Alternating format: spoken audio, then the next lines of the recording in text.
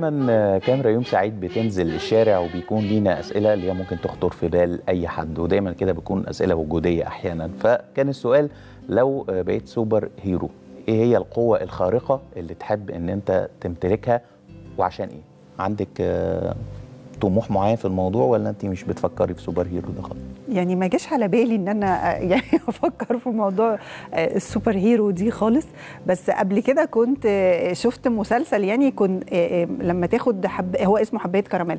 لما تاخد حباية الكراميل ديت بتقرأ أفكار الرجالة تحديدا بس؟ آه الستات لا كانت بتقرأ أفكار الرجالة فكانت بقى بتعمل لها مشاكل وتروح تقول لصاحبتها إن هو مش بيحبها بجد وإنه بيعرف ناس غيرها وكانت يعني الموضوع فدي برضو آه، يعني آه، قوة خارقة الحقيقة إنها تقرأ الأفكار يعني بس ده كده هتستخدمها استخدامات صعبة قوي هي ما هي بقى ما هي آه، النقطة يعني. بقى هنا إن هي كانت مش عارفة تستخدمها إزاي وكانت في أوقات كتير آه، بتحاول ت- تسيطر على نفسها انها ما تقعش في مشاكل بس كانت بتقع في مشاكل لا هي وكم بس هي ممكن تبتز يعني. الناس لا هو خالص هي كانت. واخداها من الناحية الطيبة آه، وبعدين يعني طيبة لما بقى. لما شفيت منها بقت بتقرأ أفكار الأطفال فالموضوع بالنسبة لها كان صعب جدا يعني. حاجة بعد آه الكراميل بس في يعني ده. أنا لو لو حبيت الكراميل دي معايا هبقى مبسوطة جدا إن هعرف الناس اللي قدامي بتفكر في إيه ولو أنا عن نفسي برضو ممكن يعني يبقى super hero بالنسبة لي إن أنا أحرك الحاجات بعناية يا سلام ما موجودة دلوقتي. بعد كده هنعملها كده المكالمات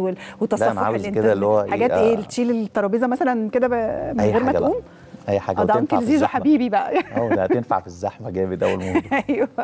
طب خلينا نشوف الناس قالت إيه لو يعني حابب إن أنت تكون super hero تكون إيه هي ال- الملكة الخارقة اللي عندك وعشان إيه؟ شوف الناس قالت إيه ونرجع لكم مرة تانية.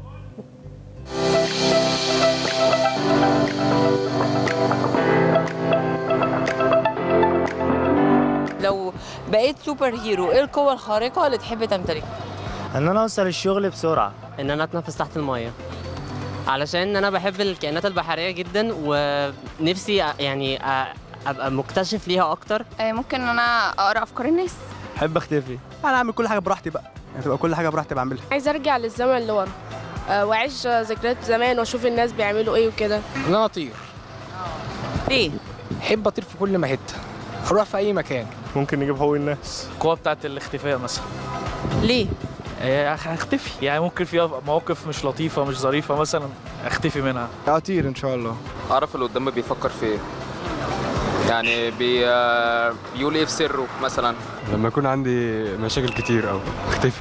إن أنا أتطلع على أفكاره وكده لأن ده هيساعدني إن أنا أعرف اللي قدامي سواء كان بيتمنى لي الخير أو بيتمنى لي الشر. ده أنا كأني قريت أفكار الناس. يعني من غير ما تشوفي التقرير. آه من غير ما أشوف التقرير. أنا ما شفتوش الحقيقة. ما أعرفش إن هم كل الناس نفسها تقرا تقرا الأفكار. يعني آه.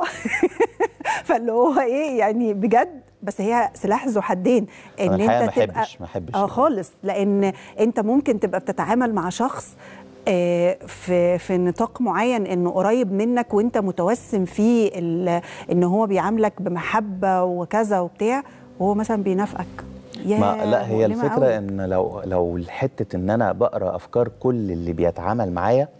لا هي صعبة هي صعبة طبعاً. هو سلاح ذو حدين لا أنا بالنسبة لي هو حد واحد لأن هتتعب يعني هيبقى هي تعب نفسي لا آه. خلينا نتعامل وكل واحد ونيته وبس كل واحد ياخد باله بس مش أكتر. يعني يتعامل لا بحرص. بس هي برضو ليها ميزة. إن أنت يعني تعرف الشخص وتعلم عليه يعني عارف؟ فاللي هو مش هتعامل. آه صاحبك آه يعني ما تتعاملش معاه يعني إذا هو شخص مش جيد فخلاص تخرجه من من دايرتك. لكن لو هو شخص كويس وكده لا آه، بالعكس تقرب منه. يعني يعني في نفس المسلسل هي أصلا عرفت إن الشخص اللي هي بتحبه وهي فاكراه مش بيحبها إن هو بيحبها جدا بس آه، بس مش بس بيبين. مش بي مش بيبين. فالأفكار اللي هو كان بيفكر فيها كانت بتوصل لها. فيعني برضو دي ميزة حلوة. إنك تعرف بقى شريكك بيحبك ولا لا. بس ماشي. هتنفع الزوجات جدا بالنسبة طبعا. لزواجهم دي يعني بالنسبة لنا حاجة جميلة طبعاً. جدا. على الأقل بدل ما نيجي نقول عايز تتغدى إيه فتقول كل حاجة أي حاجة. فنعرف الحاجة اللي في دماغك بالظبط